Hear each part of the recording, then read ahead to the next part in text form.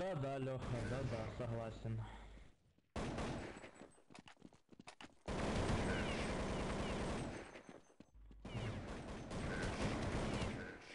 О, давайте мы еще ему дальше сольемся, блин.